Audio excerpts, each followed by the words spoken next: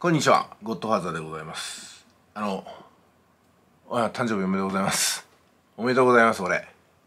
おめでとうございます。ハッピーバースデートゥーミーということでね、えー、一発目ですね、49になって一発目の放送は、あなたにゴッドファーザーからメッセージでございます。あの、私の動画は大丈夫でしょうか？というね、えーメッセージだったんで、まあ何点かじゃあ今の時点でお話しできることを言っときましょう。まずね、動画に顔出しするならちょっと表情がね無表情すぎるんじゃないかなと思うんですよ。このね表情でね人の心を捉えていかないといけないところがありますんでまあタレントになったつもりでね是非やってもらいたいかなと思いますしあとすぐには無理かもしれませんけども声にもねちょっと演技を入れた方がいいですね。うん。あの何、て言うんですかね。そのまんまの自分で受ければいいんですけどもまず受けないんですよ。人の心を動かそう掴もうと思ったら人の心を掴むようなね動かすような喋り方がいるんですよ。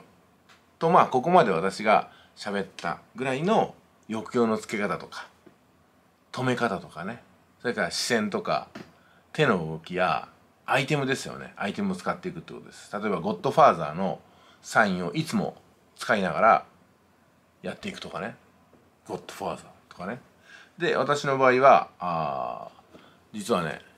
ハッピーバースデートゥーミーで、えー久々にアルマーニのネックレスが届きました。49歳からこれを使っていこうかなと思いましてね。自分にプレゼントということで。以前アルマーニのネックレスね持ってた時はこれまあ大和くんをねいろいろとねやってる時にねちぎれちゃったんですよね。大和くんと遊んでる時に。ちぎれてしまいました。1歳児に引きちぎられてしまったんで急遽このホルスの目をチョーカーを使っていたんですけどね、えーやっぱりもうね私も生まれてこの方アルマニネックレスですからちょっと違和感があると。いうことで今回は軍隊の認識表みたいなやつをねダブルのやつを買って使っております。であとはねマネークリップをずっと使ってたんですけどもこれ金をなくしてしょうがないんですよ。本当によく金をなくすんですよこのマネークリップ。私にはもう向かないということでやめましてですね。この生涯初アルマーニの二つ折り財布を買ってみました。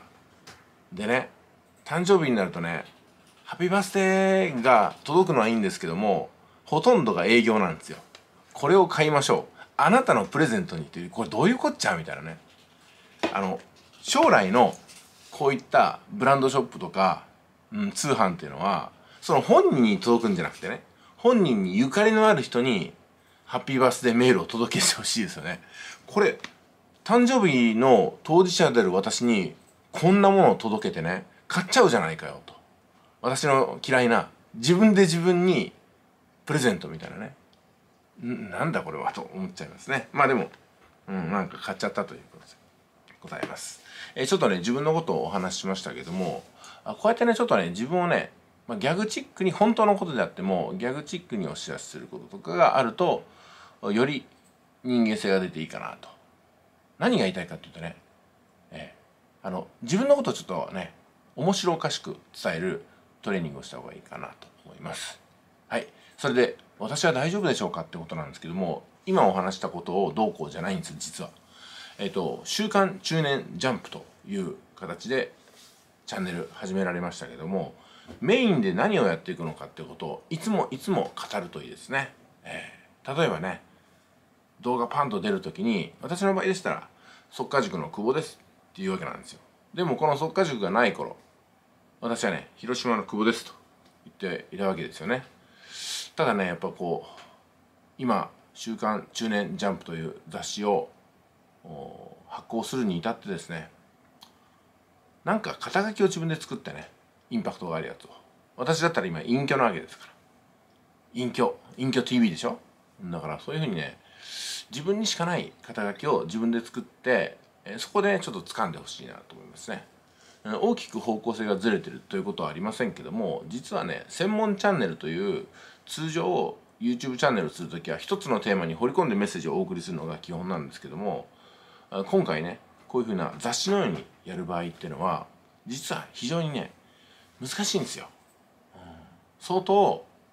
あこの人の発信する情報はどれも面白いなっていうふうに言わせないと思わせないとなかなかね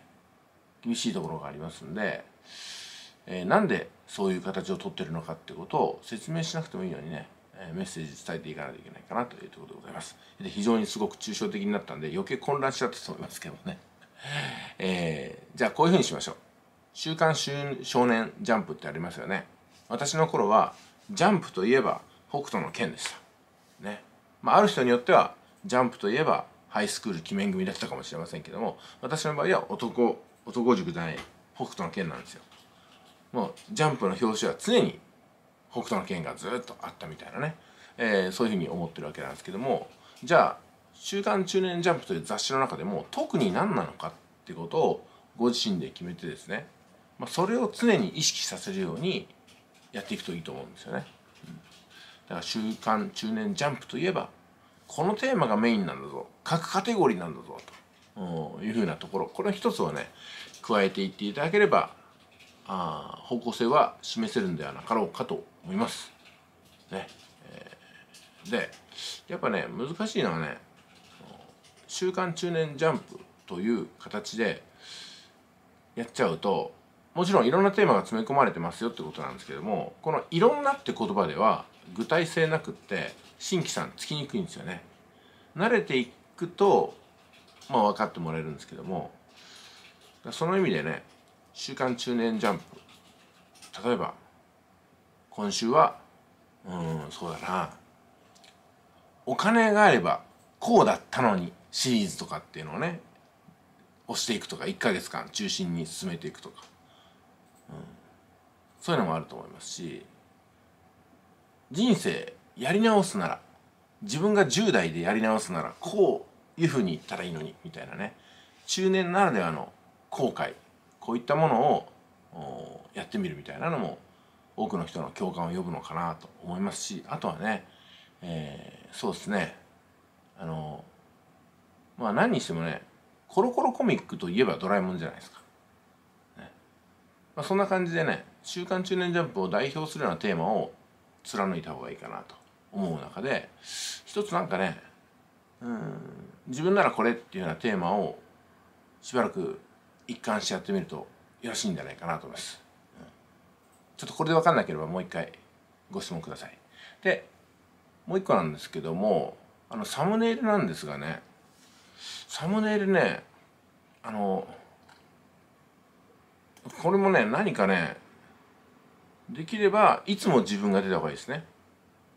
自分が表紙ですからこれが。だから自分自分でこうやってポージングするわけですよ。ちょっとね寒いかもしれませんけども自分でやるの。ね私も投資のサムネイルも自分がこうやってたりするわけでしょ、まあ、そこでねあの雑誌であるからこそいろんなテーマだからこそ全部に自分が関わってるんですよっていうような形を取るためにサムネイルを作るんだったら自分が常に出た方がいいですね。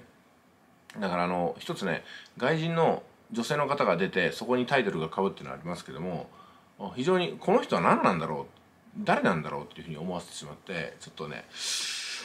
もったいないんでご自身が出ることがいいかと思います。でボルタリングの場合もゆうきくんと自分が出てこうやってるところとかねこう握手してるところとかねああいうふうにやるとよろしいんじゃないかなと思います。あとみんなの銀行についてですけどもお早めにどうぞみんなの銀行紹介キャンペーン実施中というふうなサムネイルとタイトルしか見えませんけどもこれは良くない例なんですよ。すいません。良くない例。何がいい例かっていうと儲かるよっていうふうに書いてあげないといけません。最低1000円もしくは最大30万儲かるビッグキャンペーンとかねこういうふうに書いてあげるとかブラックの方でも OK とかね。そういうふうに書いてあげるとあ自分のことを書いてるじゃんとか自分のこれ思ってること書いてくれてるじゃんってなるんですよ。お早めにどうぞっていうと何のことか分かんない。みんなの銀行ああ銀行なんだ。紹介キャンペーン銀行の紹介キャンペーンなんだ。あそうみたいな感じになっちゃうんですよ。だから直接これにかかると儲かるんだなとか自分みたいな立場の人間でも関われるんだなみたいなねフックを入れておくようにした方がいいかなと思います。まああとね個別具体的なあのサムネイル一点一点の評価するとキリがなくなっちゃうんですけどもとりあえず今目についたのはそのぐらいかなと思います。えっ、ー、と言われたようにね自分の行動をしっかりと見てああでもないこうでもないとそういうふうに支持してくれる人はあんまりいないと思います。ではばかりながらねメディア運営っていうんですけどもこの YouTube にしても他のブログ活動にしても SNS 活動にしても Twitter でもそうですよ、えー、このメディア運営に関しましては私の見えてる範囲ね。いろんなこと考えてる人がいますけどもメディア運営でこと稼ぐとか時間を効率的に使うってことに関しては私が見るところ